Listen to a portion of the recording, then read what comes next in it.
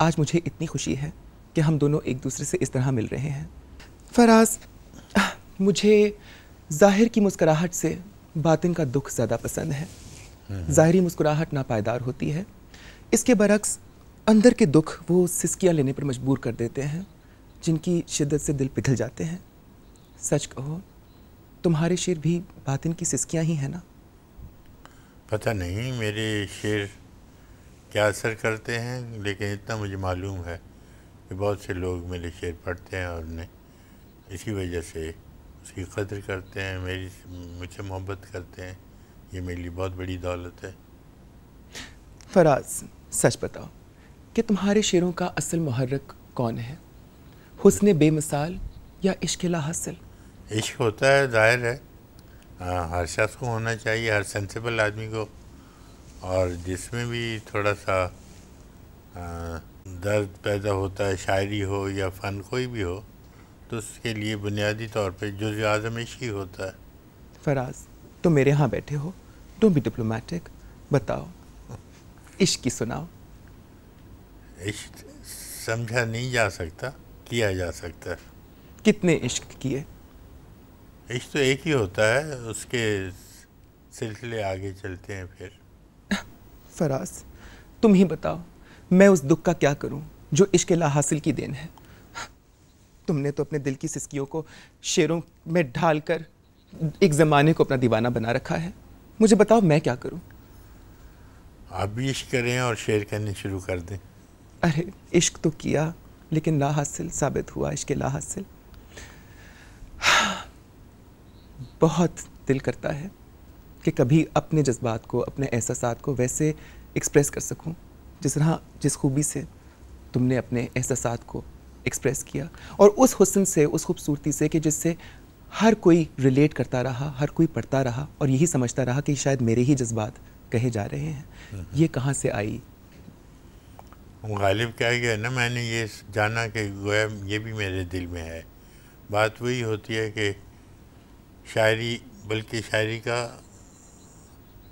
सबसे बड़ा हुसन यही होता है कि हर कोई समझे कि मेरे दिल की तर्जुमानी हो रही है। और बस यही कुछ इसकी खूबी है। आपकी नज़र में महबूब को रिफ्यूज़ल या रिजेक्शन का हक देना क्या मोहब्बत की महराज नहीं है? हाँ, पता नहीं इश्क लालची होता है। वो ये हक नहीं देना चाहता तो नहीं देता। इसके लिए बहुत बड़े दिल की ज़रूरत होती है। और मेरे ख्याल है हर एक के हर एक का ज़र्फ इतना नहीं होता कि महबूब को भी रिफ्यूज़ल का हक दे सके। वैसे होता यही है। तो क्या इश्क में फिर ये शर्त ज़रूरी है कि जिससे आप इश्क करें वो आपसे ही इश्क करें? नहीं कोई ज़रूरी नहीं है। लेकिन मैं तो अपने इश्क की बात कर रहा हूँ ना। दूसरे इश्क की दूसरे के इश्क की बात नहीं कर रहा। उसको भी उतना ही हक पहुँचता है जितना मेरा मुझे हक पहुँचता है कि मैं किसी को पसंद करूँ। हम्म। तो उसको भी पूरा हक है। अपने इश्क की बात फिर खुलकर बताइए ना। यही मैंने बातें कर ली आपसे जितना इसका जो कुछ मुझे इसके बारे में कहना था। ये तो मैंने तस्लीम किया कि इश्क हुआ मुझे और है अभी तक उसकी चिंगारी उसका शोला मौजूद है। इसलिए तो मैं शेर कह रहा हूँ जिस दिन ये शोला बुझ गया शेर फिर कहना शायद खुद ही बंद हो जाए। माजी में जाते हैं। जी चल आपने शेर किस उम्र में कहने शुरू किए? हाँ मैंने शेर तो नौवीं, दसवीं जमात में कहने शुरू कर दिए थे।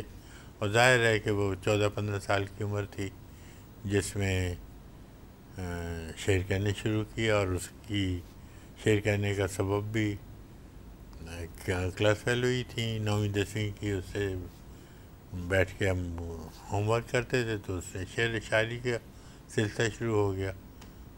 उसी से वो बैतबाजी शुरू हुई। तो हमें ये इतने शेर याद करके भी जाते थे लेकिन वो जीत जाती थी। हमने सोचा ये तो गुजारा ऐसा नहीं होगा। वो तो जीत जाती थी कि आप जानबूझ के उनको जिता देते थे? नहीं मेरे पास इतने उसके पास शेर बहुत याद थे उसे। तो मुझे फिर अपने घड़ने पड़े। वो शेर घड़ना जो था वही हमें इस बीमारी में मुबतला कर गया। आए और ऐसे ऐसे शेर गढ़ गए आप ऐसे ऐसे शेर गढ़ गए जो करोड़ों लोगों की दिलों की धड़कनें बन गए वो शेर। बस वो इत्तेफाक की बात है वरना को मेरी शायरी में कोई ख़ास ऐसा वो तो नहीं था। मैंने तो कभी ये सोच मैं शेर अपने लिए कहता हूँ और अगर लोगों को पसंद है तो ये मेरे लिए अच्छी मतलब मुझे खुशी होती है। आप अपने दिल की हर बात कर डालें आज। हर बात? मुश्किल बात है ना। चल एक चंद बातें तो कर सकते हैं ना। अच्छा फ़िल्मों के लिए क्यों नहीं लिखते आप? जावेद को देखें। शबाना का मियाँ। हाँ, जानते हाँ। हैं ना शबाना को कैसा कामयाब है। हाँ, एक एक गीत के इतने पैसे ले रहा है जितने लोगों को दीवान के नहीं मिलते। तो पैसे तो कोई चीज़ नहीं है। पैसे तो मुझे पैसों की कमी नहीं है। मेरे पास मुमकिन है दस रुपये हो। मैं उस दस रुपये से खुश हूँ। उसके पास सौ रुपये हो मुमकिन है वो खुश ना हो। पैसे नहीं हो। बात तो ये है मुझसे राज कपूर ने भी कहा कि मेरे लिए फ़िल्म रशिया में हम थे तो उसने मुझसे कहा कि मेरी फ़िल्म के लिए लिखो बल्कि बम्बे में गया तो मुझे ले गया अपने घर ले गया, सिनेमा हाउस जो उसने अपने लिए ख़ास बनाया हुआ था, उसमें ले गया। पर मैं फ़िल्मों मैंने कहा किताबों से उठा ले मेरी जो जो चीज़ें मेरी, फ़िल्मों में आई हैं मेरी चीज़ें, लेकिन उन्होंने मेरी किताबों से उठाई हैं, मैंने उनके लिए नहीं लिखा।